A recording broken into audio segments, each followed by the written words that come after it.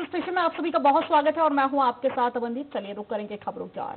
दक्षिण एशियाई क्षेत्र सहयोग संगठन देशों के साथ स्वयं के अनुभव बांटने के उद्देश्य से एम्स रायपुर के डॉक्टरों ने वीडियो कॉन्फ्रेंसिंग के ज़रिए सार्क देशों के एक चिकित्सकों से बातचीत की। केंद्रीय विदेश मंत्रालय द्वारा आयोजित वीडियो कॉन्फ्रेंस में कोविड 19 के बारे में विस्तार से जानकारियाँ साझा की गई।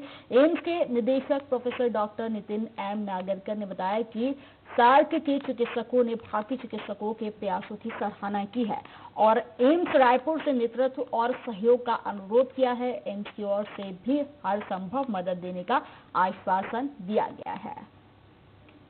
ऑफ़ नेशनल इंपॉर्टेंस है। एम्स न्यू दिल्ली को भी हमेशा दिया जाता है। एम्स न्यू दिल्ली को इस बार भी दिया गया है। लेकिन एम्स रायपुर, क्योंकि शायद हम लोग यहाँ से काम भी होता रहता है और मिनिस्ट्री अवेयर रहती है, अपनी गवर्नमेंट ऑफ़ इंडिया में लोग अवेयर रहते हैं तो हम लोग को भी चांस देंगे। लोग हमारे यहाँ अच्छा एक V R D L lab है, जो viral research and diagnostic lab जो काफ़ी टाइम से काम कर रहा है यहाँ पे और इस बार कोविड नाइन्टीन की ज़िम्मेदारी इनिशियली स्टेट में उसी को मिली थी। उसी तरह से एक ज़िम्मेदारी के साथ डॉक्टर्स अपने काम कर रहे हैं और एक इंस्टीट्यूट ऑफ़ नेशनल इंपॉर्टेंस है। और इसी पर ज़्यादा जानकारी के लिए हमारे साथ में रायपुर से संवाददाता सत्या राजपूत हमारे साथ में जुड़ गए हैं। सत्या वीडियो कॉन्फ्रेंसिंग में सराहना तो की गई है डॉक्टरों की और क्या कुछ निकल कर सामने आया इसमें? जी बिल्कुल। देखिए प्रदेश के लिए एक गौरव की बात है। यहाँ जहाँ कोरोना को लेकर पूरे दुनिया में हाहाकार मचा हुआ है वहीं अगर छत्तीसगढ़ में कंट्रोल की स्थिति है और यहाँ पे अभी बात करें तो जितने मरीज़ आते जा रहे हैं उससे ज़्यादा स्पीड से यहाँ पे जो मरीज़ हैं उनको ठीक किया जा रहा है। इसको लेकर पूरे सार्क देशों में प्रेजेंटेशन दिया गया।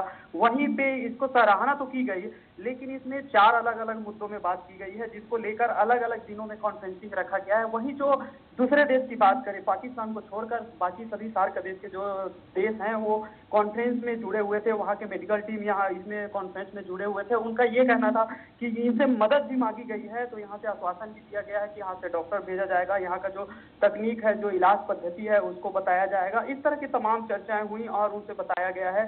तो जो उनके ओर से आग्रह किया गया है सार्क देश के डॉक्टरों के द्वारा की तो उनके मदद से आश्वासन दी गई है। सत्या, वो कौन कौन से चार मुद्दे थे? इसका खुलासा हुआ है क्या अभी?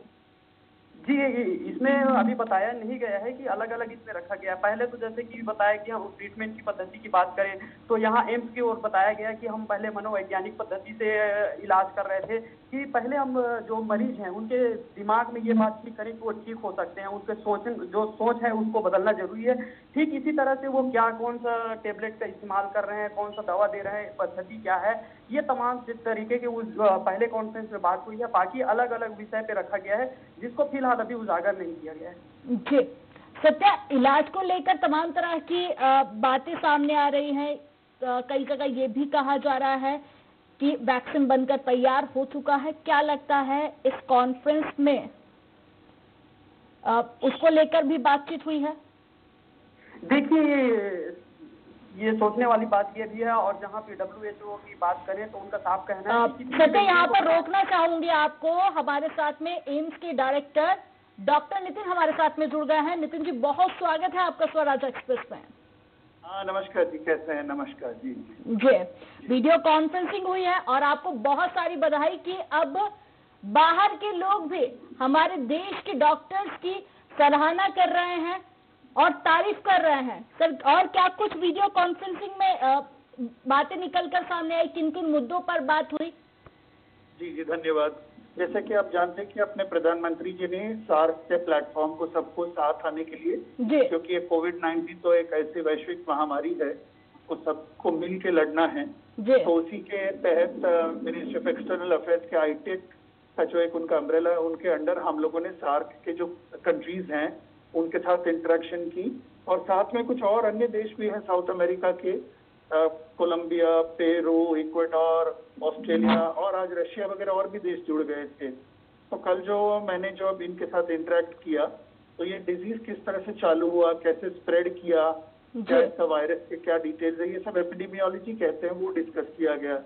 आज डॉक्टर अनुजीता ने उनके साथ पूरे टीम के साथ अलग अलग जो देशों में लोग बैठ के सुन रहे थे जी। उनके साथ किस तरह ये वायरस का टेस्टिंग होता है? क्योंकि टेस्टिंग और जाँच इसकी सबसे ज़रूरी है और उसके बड़ा साइंटिफिक तरीके से इस वायरस का डायग्नोसिस होता है।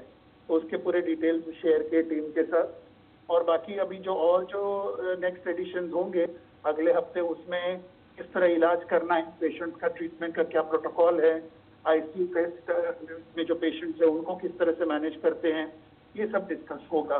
और वो बड़ा अच्छा है इंटरेक्टिव सेशन रहता है।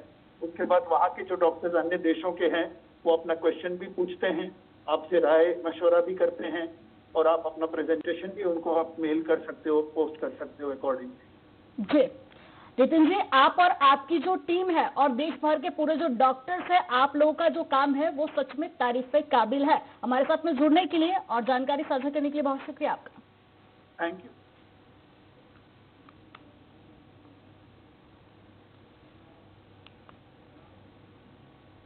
चलिए बात करेंगे अब